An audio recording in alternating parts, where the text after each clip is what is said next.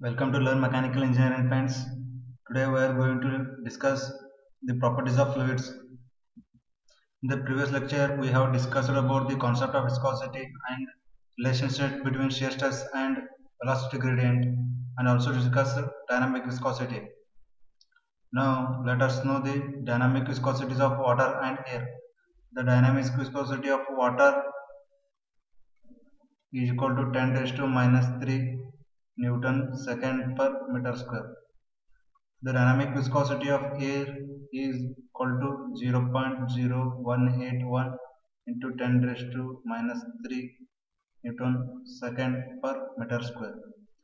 Please remember the dynamic viscosity of water and air as, the, as these data are helpful in solving problems. Let us discuss the kinematic viscosity. The kinematic viscosity is defined as the ratio between the dynamic viscosity of the fluid to the density of the fluid.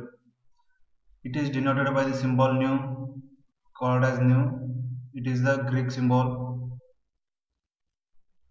Hence, kinematic viscosity is equal to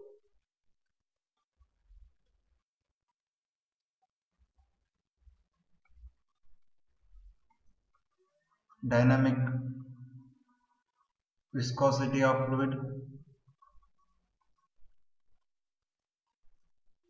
divided by density of fluid. So nu is equal to dynamic viscosity is represented by this symbol and density. Let us derive the unit of kinematic viscosity. So kinematic viscosity is not ratio of dynamic viscosity to the density of the fluid. The unit of dynamic viscosity is Newton second per meter square. The density unit is kg per meter square meter cube sorry. So this this cancels so there is only m left right Newton second and m kg since Newton is the unit of force force is nothing but mass into acceleration. So unit of mass is kg and acceleration is meter per second square.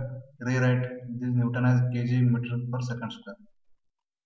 kg meter second square into second into meter per kg so this cancels. So it is left with only one of this kg this kg cancel so its unit is meter square per sec.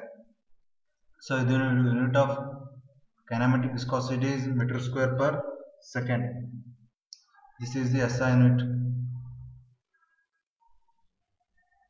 Another unit of viscosity which is commonly used is Stokes so one Stokes equal to 1 centimeter per square per second which is equal to 10 raised to minus 4 meter square per second. So for water the kinematic viscosity is 10 raised to minus 6 meter per second. For air the kinematic viscosity is 15 into 10 raised to minus 6 meter per meter square per second. So these are the kinematic viscosity of water and air and these are helpful in solving problems. Now let us discuss about Newton's law of viscosity. The Newton's law of viscosity states that the shear stress on a fluid element layer is directly proportional to the rate of shear strain. Means the shear stress is directly proportional to this velocity gradient. This is the statement of Newton's law of viscosity.